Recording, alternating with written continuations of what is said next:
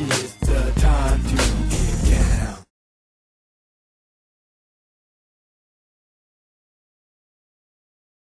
All right, everybody, a new segment. It starts with an idea and it spreads like a virus into the building of a new community. We're reaching out. We're reaching out. Grab a hand. All right, tech moment with Mario. I thought that said heck moment. well, you know, working on some new visual lead-ins, some new visual lead-ins, you guys. But as tech moments, where we want to sort of to segregate out a couple of the quick topics that are so technical. Yeah. One of the things I wanted to tell everybody, we've been talking so much about internet radio, and remember, we are simulcasting right now. That's right. on internet radio. Yes, sir. Uh, part of what we do, we're expanding because it represents increasing communities that are out there. Some of them are, are easier to access that way than these ways. Right. And we also are, are dealing with uh, promoting low power FM. And we said it over and over again to go take a look at prometheusradio.org, okay, where you can see about it. Yes. But I want everybody, we wanted to make the announcement today that our own radio station, 101.5 KLPK, Leimert Park Radio, has gone legit. We are now being licensed by streamlicensing.com. So those of you not familiar with streamlicensing.com, it's the online, the one-stop. There's only been a couple of these actually licensed to do this service, okay? Nationally, Uh, uh, internationally internationally. internationally. Uh, so this service, streamlicensing.com, allows you to license your own internet radio station for reasonable fees, uh, just about $23 a month. And then it allows you to then be licensed after you follow their rules with ASCAP, BMI, Sound Exchange, SESAC, and so so it's out there. So it's out there. So we also are out there, uh, and you can uh, access it, even though we're in the process of act of, of improving the website. Right. So Right. that part you will be seeing. But I wanted everybody to know. And those of you who are interested yourself in having an internet television channel, remember you could take care of the licensing here at Stream Licensing. It's the first of our stations to be licensed. Yeah. But we expect to license other ones as they become active.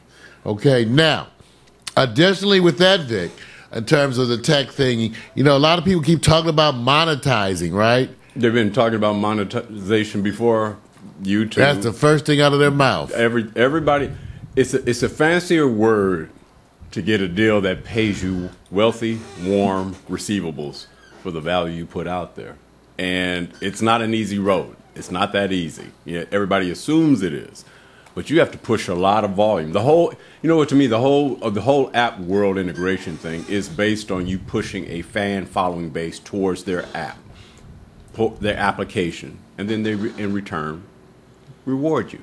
But sometimes you can get rewarded not by those who actually develop the app, some partnerships. We know of some people who've already gained some, some monetary support and wealth by using apps like YouTube. Well, that's where We talked about this uh, this week about uh, Kanye, excuse me, about uh, Jay Z. Jay Z Yeah. expanding his brand with YouTube. Well, I wanted you to be aware that one of the um, one of the developments that's coming about that's really good for in terms of people attempting to monetizing is the ability to now run ad programs within your radio stations, and they all do it. So, Pax Stereo, because of requests actually of people who wanted to purchase ads, we're stepping up and adding a new uh, automated robot-based uh, ad system that's going to allow us to track the ads, track the broadcasts at the 101.5. So along with it being legit and being licensed through the stream licensing service, this whole stream is monitored on an active basis for what we play. Yeah. And the same kind of a way we'll be able to build. So I want everybody to take a look. We use two kinds of software, SAM Broadcaster and Station Playlist. The Station Playlist one is the one that runs our internet television stations. It's radio station software that we've adapted Right. To do this. But now it has the whole new bill, billing module. So look for us to add ads. So for all you people who've been looking for ways to monetize, this allows you now to put ads within your, your radio stream, what time it's going to be, all that kind of stuff. The programming. And we'll be doing it too within the internet television stream and within our internet radio stream. Right. And you know the whole thing about it is is that it's doing a lot of the work in a kind of how can I say grassroots way. It's like your own administrative accounting system. It'll do a lot of the work for you, but you still have to learn at least how it works, and then of course programming it. I mean, you have to program it. It's like a playlist. It's like a playlist. Yeah. And we're running past you. The, the, the software that we're going to be using is called Traffic Light. But we're actually going to be using a light version of the light version. How's that? Yeah. And they have a light version, then they have a lighter version still for those doing internet radio. Mm-hmm. But take a look real quickly of the of the sample documents we're going to be able to send out. So for those of you who do care, who gonna who interested in doing internet radio, this will allow you to bill people, send out the notices, all of this stuff, take orders. So you'll ta- be able to take all these things and do printouts of your orders. So for us, it's a learning thing. Yeah. Just wanted everybody to be aware of that. Yeah, it, it look it's not the it's not the uh, fancy gloss and, and show today and this morning as it relates to this. This is really about effectively administering your business practice and your accounts and receivables. It's really that's what it's doing for those who are small independent companies who don't have a lot of support. But learning how it works, how complicated was it for you to understand it? Wasn't that that? It's not that hard. You know, you have to work at it like anything. Yeah. But hey, if you want, if you want to have a service, and you want to bill for that service, Right. either either you're big enough and you already have that way you can hire someone to do in, it, or you got to do it for yourself. Yeah. I think the learning involved with doing it for yourself. Yeah. It's It's, worth worth, it. it. Yeah, if you had to spend a one week, you would accomplish a lot on it. Just That's right. studying and focusing on there.